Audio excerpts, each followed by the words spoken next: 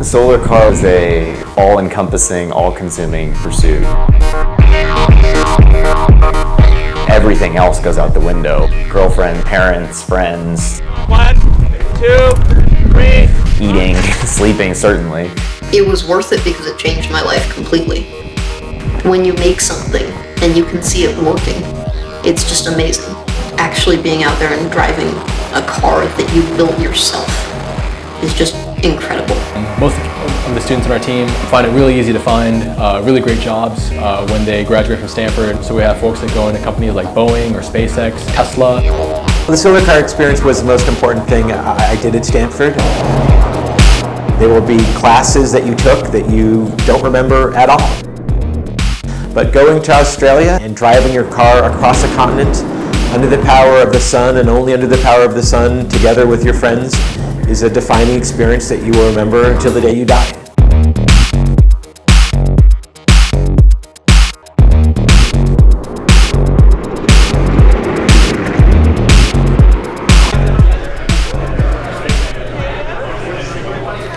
So I'm really excited to be here today. Uh, we're here to celebrate our 25-year history at the Stanford Solar Car Project.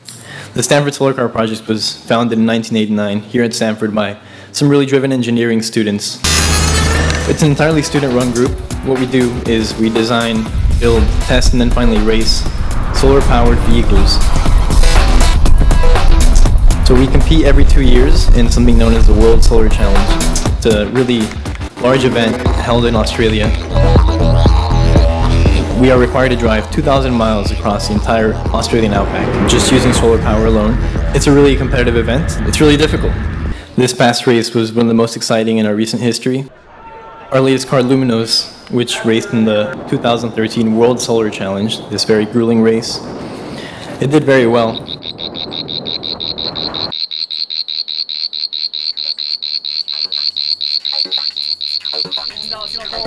on the car, hands on the car. We're here at the start of the 2013 World Solar Challenge.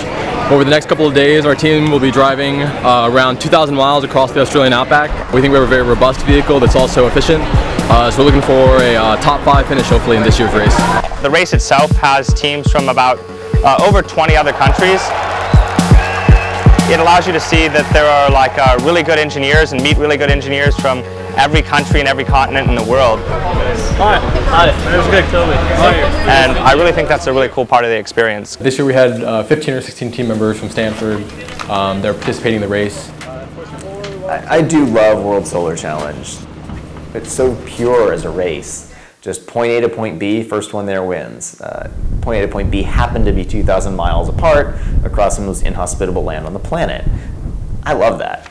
I found that I really like collaborative engineering. I have a lot of fun because I get to work with a, a, lot of really smart people at Stanford. Um, I'm a rising sophomore at Stanford. I'm majoring in mechanical engineering. Try going a little, like a few degrees more vertical. Okay, stop.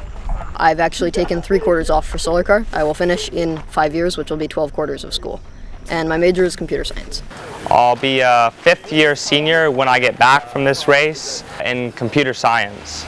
So I'm an economics major at Stanford and uh, I've been spending the last uh, two years working on this vehicle Luminos and I also raced with the team in 2011. There are three classes that compete in the World Solar Challenge. The class that we competed in is the Challenger class and that is straightforward racing.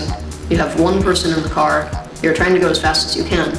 All the teams uh, begin in Darwin, uh, which is on the northern coast of Australia. And from there on, the teams are racing head-to-head -to, -head to Adelaide, which is the finish line of the race. Darwin, Australia is a very special place in the minds of a lot of people on our team. It's in the subtropics, so it's hot, it's humid, there's a lot of mosquitoes and other bugs. And then on top of that, there's crocodiles, plenty of dangerous poisonous things. Uh, we usually set up ourselves in a hostel. The majority of our time in Darwin is spent at a racetrack called Hidden Valley, focused on doing last minute preparations for the race itself.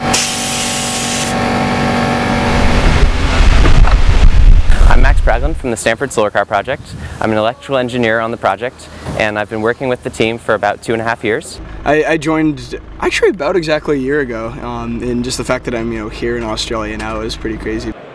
In the World Solar Challenge, uh, the teams that uh, place in the top three will actually receive um, recognition and the big medal. So basically, the gold, silver, and bronze teams are kind of the, uh, the top teams the next two years throughout the globe. For the last six or so races, there's been two teams that have uh, traded back and forth winning the World Solar Challenge. The Dutch team, uh, Nuon, uh, and also uh, the Japanese team, Tokai. And then uh, the University of Michigan is also another top team. Uh, they've consistently been in the top three. There's always naturally a little bit of a com competition between Michigan and Stanford. We, we were focused on them, we wanted to beat them. Uh, they wanted to beat us. That's a good rivalry. Michigan is a fantastic team, and Michigan provided all the incentive we needed to sort of pull those extra late nights. We were kind of in the dark with respect to Twente. We had gotten to know these guys, and um, they're really funny people. Yeah, definitely one of the fastest teams in the whole race. Very good team, master students in the Netherlands. They take a year and a half off to do it. They build a beautiful car, race races very fast. One of the cool things about our team is that we're completely student run and our university uh, involvement is really there to support us, not to direct us. A lot of these other teams are run by professors.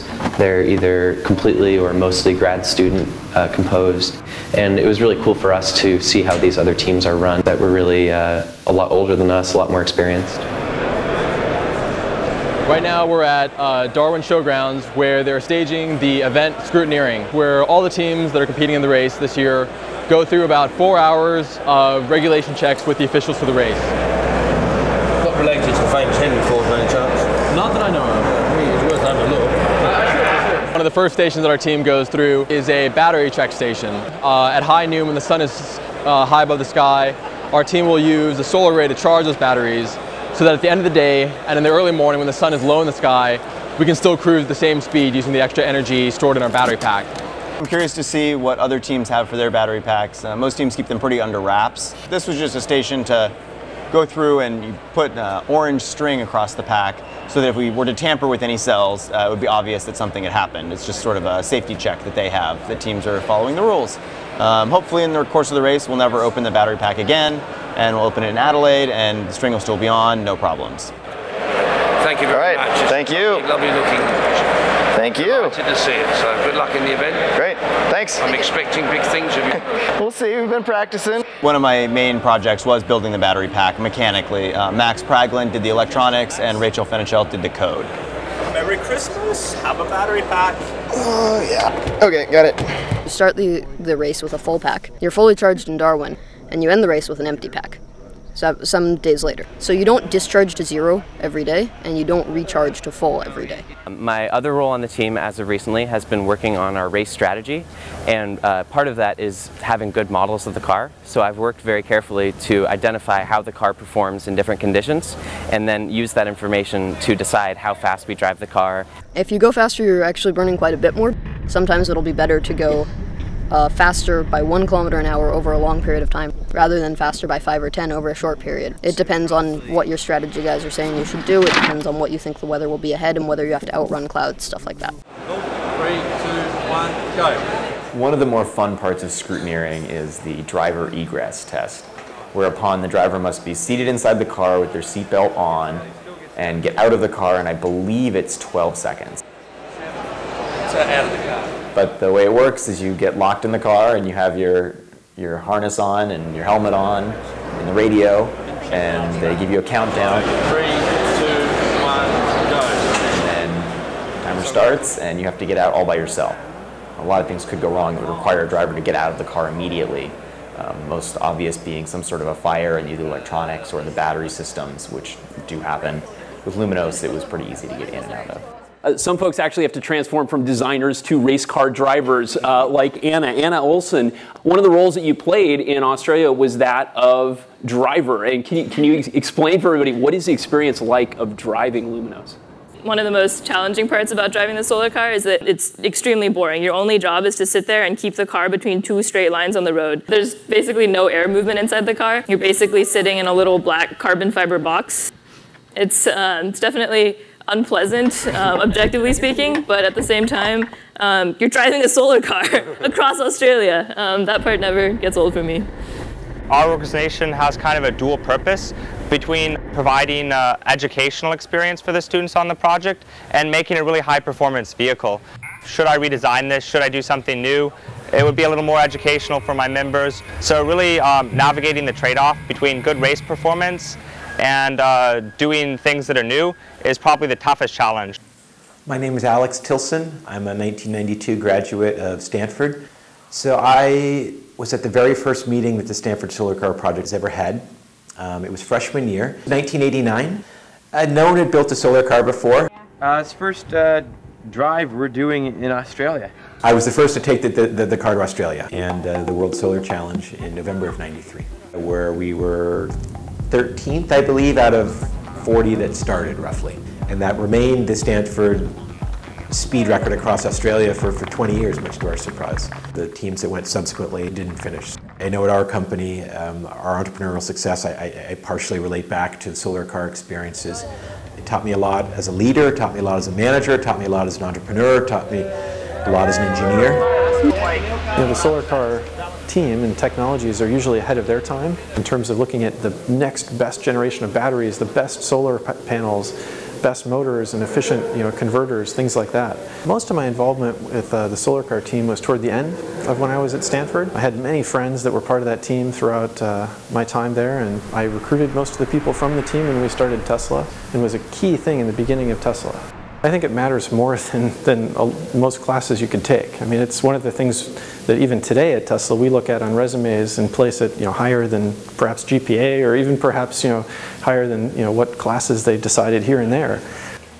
So the process of getting our solar car from basically a blank sheet of paper with um, no ideas yet to having a vehicle that can be ready to race across the Australian outback takes our team about 18 months. It's a very quick cycle.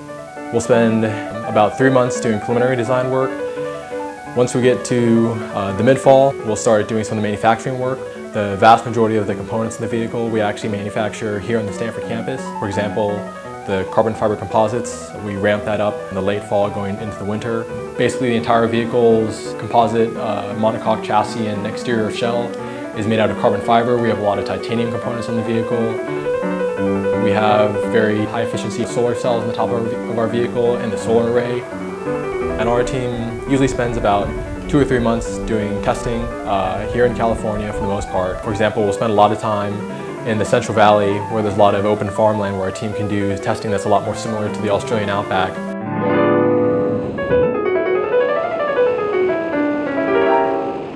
We've also done some wind tunnel testing in the past, even out in uh, North Carolina. Key word for that cycle is testing, testing, testing. We actually put the full length of the race on the car in test miles in the United States, which is a challenge most teams haven't been able to accomplish. This year our team was very fortunate in that we had a couple hundred great sponsors that supported our team. Altogether, the program this cycle had about $1.6 million worth of parts and cash that were donated to our program. Of that, maybe $400,000 was cash um, and the rest were parts that were donated to our team. For example, Panasonic was one of our big sponsors this year that provided battery cells for our vehicle. So the Stanford team assembled hundreds of our cells into ver uh, various blocks. Those blocks were assembled into a battery pack and they did uh, all of the integration themselves complete with a battery management system. And this is an amazing effort considering these are young adults, uh, many of them not even officially graduated yet, uh, and uh, being able to pull this off was really, I think, quite magical. One of our big sponsors was uh, ST Microelectronics uh, that provided a lot of the uh, integrated circuits for our vehicle this cycle. These microprocessors are kind of the center of what our software team works on. And this is a, a, little integrated circuit that we use on pretty much every circuit board on the car. The invisible software that just makes everything on the car work and have all the different elements on the car talk to each other. We've been sponsoring it for I believe six years now, okay, and we'll continue to support it because now I'm, we're very involved, right? And it actually goes quite fast. I, I accelerated. I thought I'd scare the crowd by driving at them, and they, they got the message: get out of the way. This way. it was great. No, it was good fun, good experience. What, what, what I was fascinated by was how they do everything on this car from, from scratch. It's an amazing achievement for undergraduates. They have to still study and get their uh, homework in, as we all know, okay, on time and get their projects done. At the end of the day, it's also a lot of fun. And I think that's what comes across. They really enjoy it and are very enthusiastic. And, and that's it. And, and, and like all semiconductor companies, there's, you know, there's a method in our madness. You know, we're a European company. We're in the middle of California. What better place to get become famous is with the next generation of engineers, right? You know, teach, catch them early, as they say. so it's a, it's a fantastic project to be involved in. It really is. It's better than even I expected. I mean, people have been telling me about it for years, but now I've been up close and personal, if you like. It's, it's impressive, really impressive. For the, the summer, um, our big deadline in the sand was to get the car in a boat seven weeks before we needed it in Australia. Um, usually our team will ocean ship our car because that's uh, the most cost-effective way. This last year I tried to make a big effort to try to find a corporate sponsor that could support our team with air shipping, but I had very little success for months on end until I, I got some inroads with uh, Virgin Australia and Virgin Atlantic. Air shipping is something we always talked about doing, but it's, it's hard. And Wesley manages all in the background to get this sponsorship. It reinforces the opinion that he's magical. Wesley was amazing at logistics. So solar car turn left here. Okay. Okay, solar car clear to proceed. Beautiful. Greg was great for technical advice, knowledge, Egg, and they were just both fun people to be around. Coffee. Egg. coffee. They did a fantastic job. So with our team, uh, we definitely have a lot of uh, very passionate, strong personalities. Because the thing is, every time water drips out, we're wasting water. But fortunately, uh, this year we had a very strongly knit group of students that were out in Australia. Uh, by the time we got to the race, we were really functioning as a well-oiled machine. Yeah, the car is still on. Fortunately for us, uh, Stanford University provides cash support, but we still uh, operate on a pretty tight budget when when we're in Australia. We weren't dining out every night, but no, we're not starving. And also, this is partly because the team tries to put most of our money into racing. You can live on PB&J for a while. The one large expense that our team members uh, have to personally uh, cover is the flight ticket to Australia. And for many mem- members of the team, um, that's a barrier that prevents folks from being able to go to Australia to experience uh, racing in the outback. In addition to the solar car itself, our team has a convoy of vehicles that we use to support the race car. So this year Volkswagen provided us uh, with four vehicles to use and our team picked up those vehicles in Melbourne, Australia. The first vehicle that we have in our convoy we call the Scout car. For one, the Scout vehicle is responsible for collecting live weather data just ahead of our team and reporting that back to the rest of the convoy. They'll also report if there's any kind of new road hazards we wouldn't expect.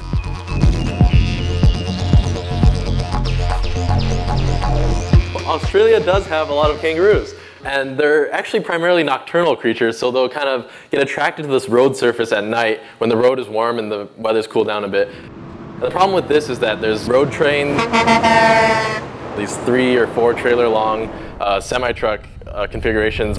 What they have adopted is uh, they'll call them roo guards, where it's just a steel grate in front of the truck. They won't stop because they can't stop, and they'll just run these kangaroos down it. And you know, it happens, there's roadkill on the road, and we have to navigate that the next day. The next vehicle in the convoy is called the lead vehicle, and this vehicle will run maybe 500 yards in front of the solar car itself. And then just behind the solar car is the chase vehicle. And the chase vehicle is usually kind of the headquarters of our race convoy. And then the final vehicle that we have in our convoy is our trailer vehicle, which we use to carry all of our tents, all of our camping gear, and also some of our race equipment as well.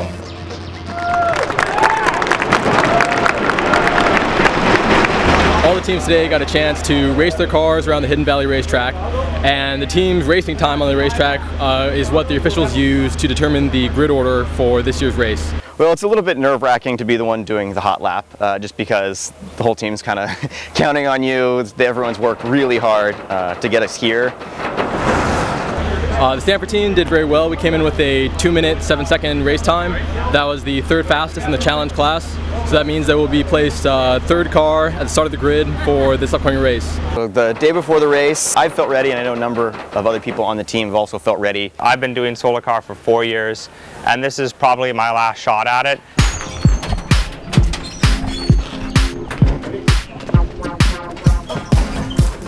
So today is race day it's a little surreal to be here. We're all obviously very pumped up, a lot of adrenaline flowing. None of us have slept all night, waking every hour in anticipation of the day. We're just really excited. It's, it's going to be a great race and a wonderful way to see Australia. We hope to win. I'm excited, our team's excited. Uh, feeling good, got a good night of sleep, and uh, we're ready for a long race. You kind of start to reflect a little bit on 18 months of everything. I mean, the, the sleepless nights, the joy of something working, the bickering about what is the best design, what's not the best design, just the, I mean, the agony and the ecstasy of it all. So my uh, parents have decided to come to be the, uh, as they call it, drive the chuck wagon for the team. Like my wife says, we're uh, chief cooks and bottle washers. We're making sure that the team stays uh, stays full. We're the cookies. Uh, they'll be making our food and just handling the food logistics for the whole trip. Uh, the nice thing about that is it means the team doesn't have to worry about food. They can take a, a big chunk of work off of the team and leave us to sleep and make sure the car goes really fast. Really excited. It's been a long process, you know, and here we are. The the door was, you know, at Thanksgiving two years ago was a piece of cardboard, and he was, you know, designing it. So it's just fun to see it go from the idea to this. The other guy that came was named David Olson. He was a fantastic asset to have because he knew outback weather really well. I believe that at the present time we're, we're looking at some bad weather towards the last day, what we hope to be the last day of the race. Um, if we can get there and fast enough, we should be able to avoid the worst of it. And then if we don't go fast enough, we could run into some bad weather near Adelaide. With a solar panel, you can see your power drop to near zero with a cloud in front of the sun. And we think that if there's enough sun, that we should be able to have enough energy in our batteries to make it down to Adelaide. Um, but it's really a, kind of a, a scary game to play when you don't know if you're going to make it to the very end. I'll be driving the first shift, which is exciting, but it's probably one of the more complicated shifts just because you're in real city traffic. The nice thing is I've got, you know, the convoy knows what to do, we're rehearsed at this, we've done this, we're ready to go racing. On the first day of the race, the teams are released off the starting line uh, every 30 seconds or every minute or so.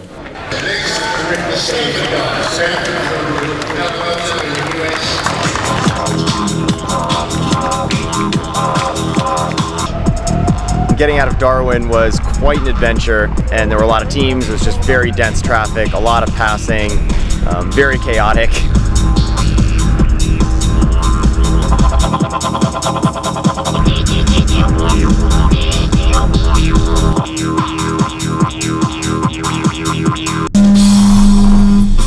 course of the race, there's 9 or 10 control points that teams hit in the biggest cities on the Stuart Highway every few hundred miles. The biggest cities might be a city with a population of 30. As the teams come in, their racing clock will stop for a period of 30 minutes, so teams can buy food and water for the next day of racing, refuel their escort vehicles. So at this control point, we'll do a little bit of work on the car. Uh, that's a little bit superficial, so things like checking for bugs on the array, making sure the tire pressure is okay. Basically, the thing is that you want to evaporatively cool the array, and as they heat up, then we start spraying them. We use deionized water or demineralized water because it means that we're not leaving residue on the array. Yeah, getting a little more power than expected. Nuon, which is a team from the Netherlands, uh, their car Nuna 7 has uh, concentrators in it. So these are uh, magnifying devices, and that gets them a lot of extra power. It's legal. You do get a lot more sunlight onto every cell. Nuna and Twente are in front of us. Uh, we passed Michigan a short while ago. For Michigan. Yeah, Michigan's way back. They just pulled in. Yeah. So we have pretty good sun coverage right now. There's a bit of clouds, um, but based on our weather data, uh, the clouds should clear up pretty soon, and hopefully we'll have clear blue skies uh, between here and the next control point. As the teams continue for the rest of the day of racing, before they get to the end of the race day at 5 p.m. each day, they'll have to try to scout out a place to spend the night. So what the team will do is quickly pull their vehicle to the side of the road, and then oftentimes what they'll do is they'll take their array of the car, the solar panels, and try to prop them up so they can point the solar panels directly at the sun for the last uh, final hours of the day.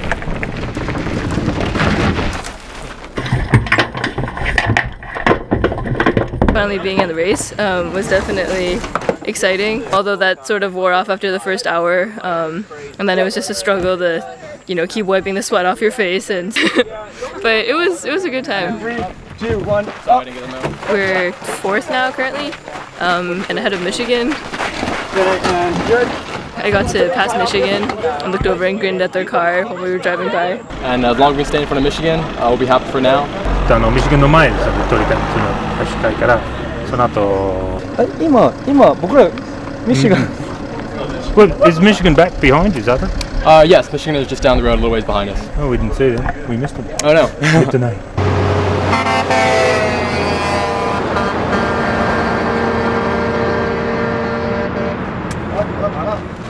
We set up the array stand, picking a position where we're going to get the most sun that we can.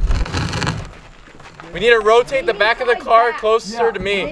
What they can say is, okay, I think that you should go up by this amount, and that's kind of eyeballing it based on angles that we can see. All right, that's pretty good. But then after they say, I think we should do this, they can actually check. We have a telemetry system, and so we're getting data from the car directly to a laptop. I can see the numbers. They can say, okay, we're getting five more watts than we had last time, so this is a good angle. Ready for food. and then looking forward to the stars out in the outback. That's one of the coolest parts about camping out here.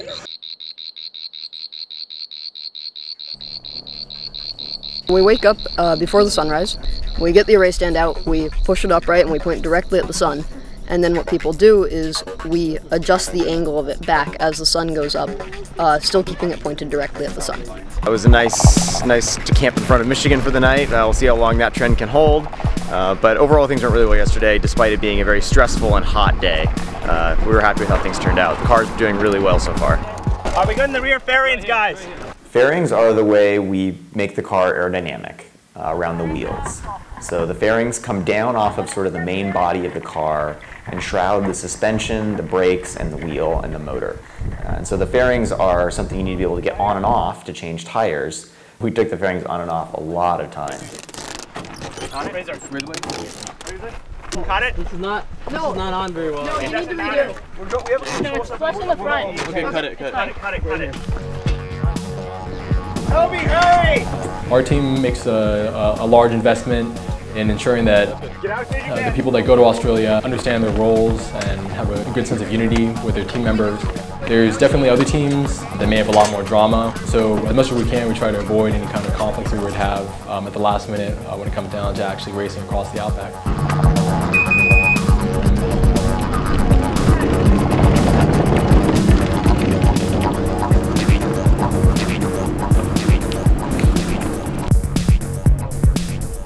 It wasn't really until uh, all the all the cars were out in the race course we really knew um, how our team was going to stack up against Michigan and the Dutch teams and the Japanese chase? that had often uh, beaten us in years past.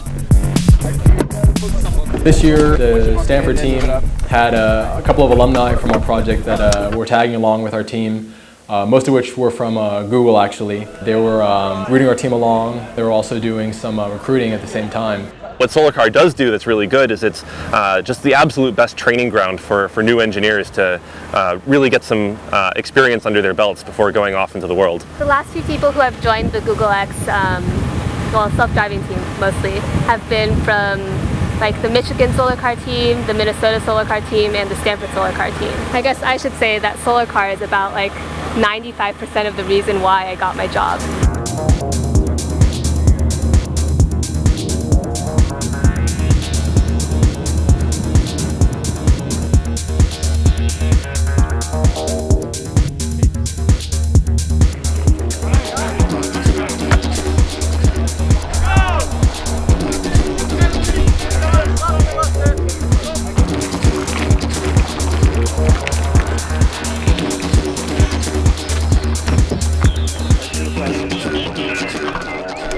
It's pretty hot. The car's feeling pretty good though. It's pretty stable. It feels good. About how long were you driving and about how many kilometers? Uh, about Sorry, five hours. do. We're pretty happy with where we are right now. If you'd said two years ago that we'd be here, uh, we probably would not have believed you. Yeah, we're, we're excited to be top five so far. Really happy with how the car's doing. No major problems, no. Not yet. you never know. Today I'll be the driver in the afternoon, going from Tennant Creek, where we currently are, down to just a little shy of Ti Tree, it looks like. Uh, I haven't seen the latest models, but last I'd heard, uh, we'd be pretty close to there tonight.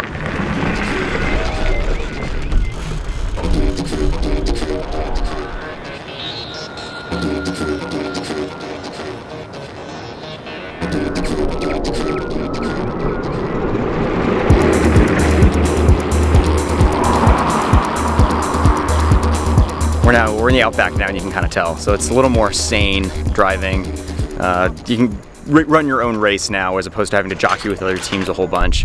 So it's a little more relaxed in that sense.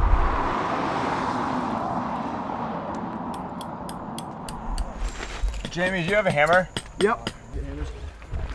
So we're camping up for the night and uh, getting ready to eat some steak. How's this?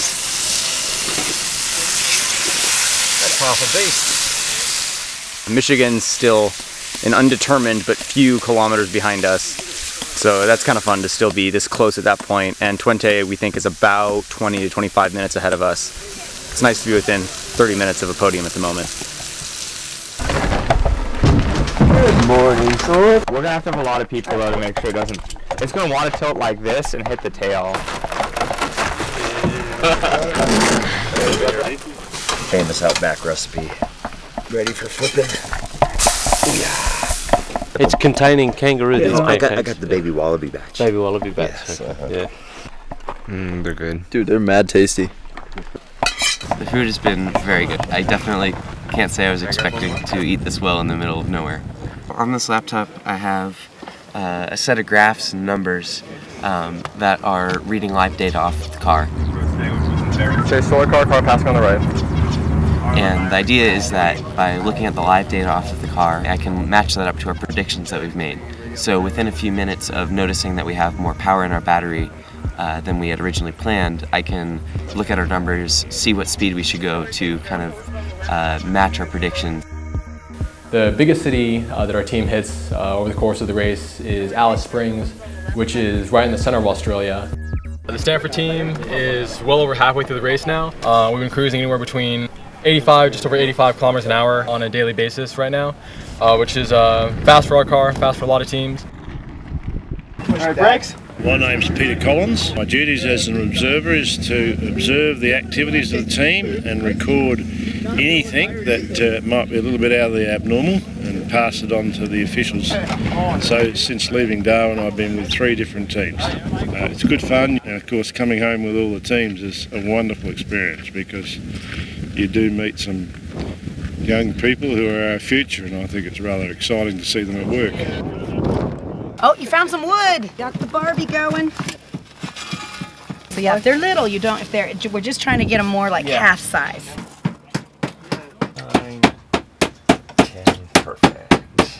I cut the carrots and I got somebody to cut the broccoli. We're having um, curry tonight. I'm done. Our, our team is aware of some teams that have probably dropped out at this point in the race.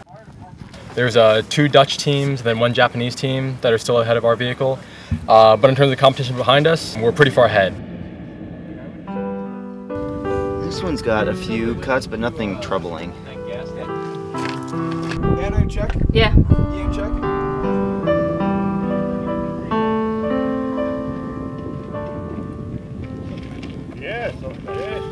Has been going very well so far. The car has not broken down. We've been sticking within a few kph of our projected speed from the first day.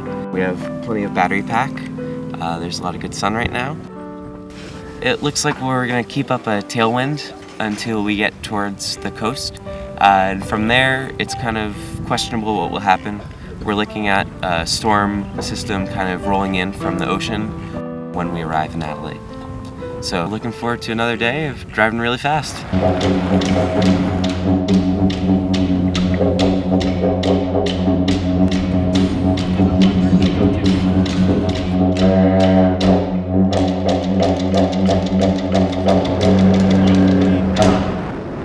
We had uh, really strong tailwinds going into Coober Pedy, so not all cars are built um, to handle these kind of a winds. Unfortunately, one of the cars, uh, University of Michigan, crashed today going into a control stop. Unfortunately, they're okay, but it's unclear what their status is in terms of uh, racing. But that'd be a pretty big upset for them. They've uh, been the fastest American team for about two decades. We started the day uh, 45 minutes behind Twente and are now five or six minutes behind him. It's cool to be right up there, you know, neck and neck with another team. It's pretty weird after, you know, 2,600 kilometers to be right on someone's tail. I think everyone is starting to get a bit uh, tired of camping in the outback. I haven't taken a shower since the morning of the race, uh, which would be four mornings ago, and we're soon coming up on some very fly-heavy areas. I'm not a fan of the flies. Tomorrow's gonna hopefully be our last day of racing. The next day we knew it was going to be cloudy, but it was a question of how much cloudy we would have to deal with and when and where the rain might hit us. This was a photo of us huddled around our laptops trying to decide what we were going to do on the last day of the race. So our decision that night was that if we got any bit of sun in the morning, we would try to catch Twente. And that meant that we were going to throw all of our best practices for race strategy out the window. And this was kind of a calculated gamble. We knew that if we caught them, it would be worth it. And if we didn't catch them and ran out of energy, we might be stuck on the side of the road. Good gamble, makes it fun, makes it exciting, makes it really, really freaking stressful on the last day. So that last day, waking up six minutes behind Twente uh, was definitely exhilarating. We figured they probably had more on the battery pack than we did, um, but we wanted to keep pressure on them, hoping they would make a mistake. We know they were worried about us. It was really fun to be in an active race that late in the game against a team that uh, we all respect so much. We had a short drive from the place that we had camped the night, the night before to Port Augusta. We're at the last control stop right now. Uh, the Solar Team Twente is in third place and we're about 10 to 15 minutes behind them. So right now we just kind of have to uh, brave this terrible weather. But our team was trying to get the last potential wattage out of our solar array. So we had our team propping our vehicle up to get uh, a bit more sunlight to improve the power output of the solar panels. Hey Wesley, what time do we leave again, just so we know? It's really going to be a, a, race to Adelaide. Don't don't know if we have enough sun to get there. Don't know if they do. If we got zero sun, we surely won't make it to Adelaide. Uh, it's about 200, 300 kilometers from here. It's just a question of how fast do we go to try to save some energy. It's a high stress time right now. Um, and after the 30 minutes were up, we had to jump in our convoy vehicles uh, and try to chase down uh, the Dutch team that was just ahead of us.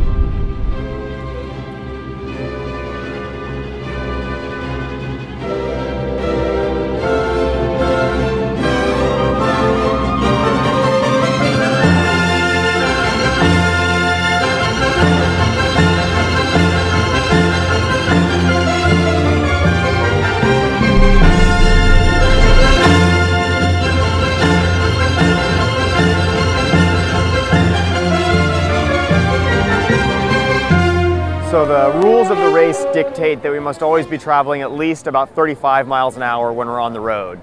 Um, and for the last day, we went about 35 the entire way. The most stressful point in that drive from Port Augusta to Adelaide was when the motor had started to cut out already, meaning that it was very low uh, in battery pack. And, and, we're coming up to the largest grade on that section of the, of the track or the race course. And we were at the bottom of it. Uh, and it was raining very hard. And my vision was highly obscured by fog, so I couldn't see very well. About halfway up, I realized, uh-oh, we're not really gonna make it. Luckily, there was a little rest stop and a pullout at the top of the hill. I personally needed to use the facilities as well as wipe out the condensation inside the cockpit. But once we got to the top, it was literally downhill from there. Fortunately, we only had to stop twice briefly. Unfortunately, the Dutch team Twente ahead of us had a bit more energy and they were able to pull away from us on the final day of racing.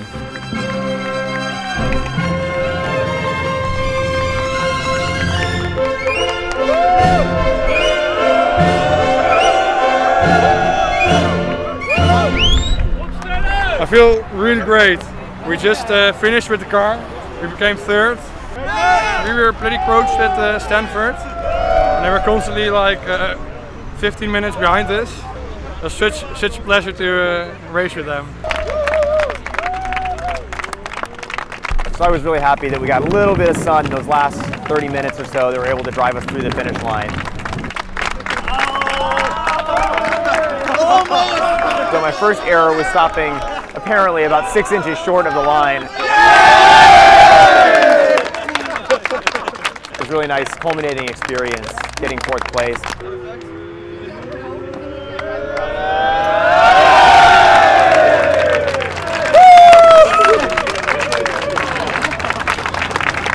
Last drive I'll ever have in a solar car. To America's number one solar car team! Made it! Yeah! 3,000 kilometers! Yeah. Got a little got a little shaky at the end, but uh, trucked on through. Awesome. Like we're the first team to finish for Stanford in forever, and we did it properly. We didn't break down. I'm going to take a nice long shower and get rid of, rid of this red Outback dust all on me. And then I'm going to take a long now. Yeah! I'm so excited. So, so happy. I was so nervous. Nail biter. It was a nail biter. Feeling relieved. Fourth place, best finish ever, I think, for Stanford. So couldn't be much happier. Great, great. we're uh, at the finish line, end of timing, and uh, we're very, very happy. More flies! The next car we expect to hear, have here on the finish line will be the Stanford Solar Car Project from the United States.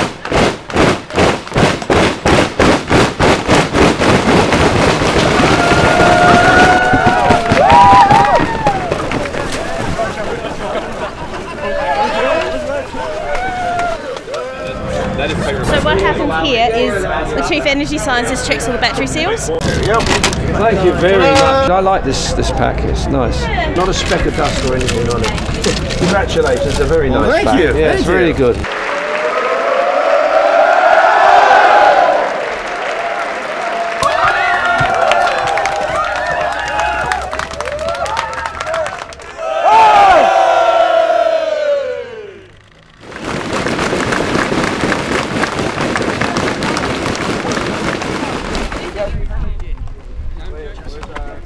Team this year did very well. We're very happy with our results and having the best finish in Stanford's history. I was fabulous what they did. Um, uh, the team had been in a 20-year Australia rut, and um, we're, we're thrilled that the team went and obliterated the 93 Stanford performance and uh, beat Michigan. Uh, really was the top all-student team in the world. Hats off to, to Wesley for heading it up and for everyone else for being a, a pivotal part of it as well.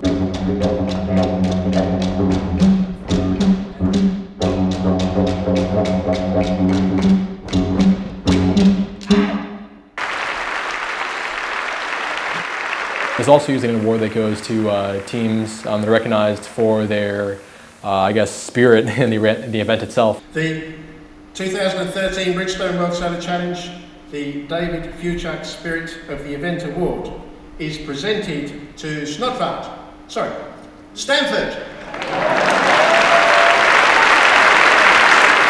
Um, that's just an effort to recognize teams that um, are doing something special to make the, uh, the World Solar Challenge uh, really an exciting and fun event for uh, everyone involved. And uh, this award is yours just as much as it is ours. Thank you, everyone. I would easily rank the Stanford Solar Car experience as my uh, top experience I've had here at Stanford, but uh, there's still um, some lingering stress, I can say, uh, from uh, the last year and a half, and I'm sure I've taken months, if not years, off my lifetime by the amount of stress that I've gone through. One of the reasons that you can kind of justify to yourself putting so much time in it is because it's kind of something that society needs a little bit. So beyond just the educational thing, there's also a cool kind of pushing, showing society what's possible, you know? Maybe this much in energy to get from Darwin to Adelaide to start out. Almost Um, 2,000 miles yeah, on a, a few bucks of energy if you were charging it off the grid. So It's not a bad deal. Yeah, it's not a bad deal. Uh, after I got back from uh, uh, being in Australia, um, I began my job search to find a full-time career, and I just recently uh, joined Google, um, working on their self-driving car project. What do you need? Right. So I'm graduating in June, going up to Yosemite for a week to relax, vacation, and go hiking. And then I'm going to start working at Google X, writing code as a full-time job. This just isn't flat. Yeah, I was working at Tesla uh, the spring and summer leading up to the race. So now I'm full time at Tesla in the battery design engineering group. There's no question that I would not have gotten my very first internship at Tesla without what I learned at Solar Car.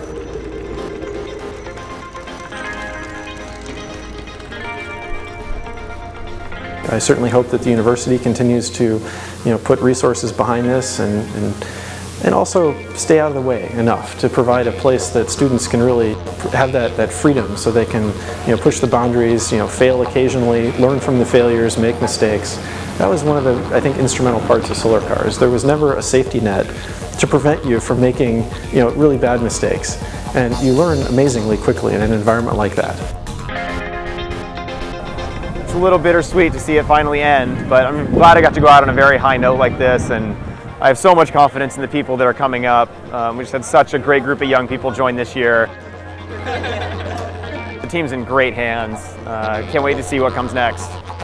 That's what's really incredible about this experience to me is that you join as a you know wide-eyed undergrad with no concept of you know anything that you think would be useful to the car at all, and then you know eventually you realize that at some point between Australia and where we are now, the you know the wand has been passed down, and it's um, it's our turn to build a solar car.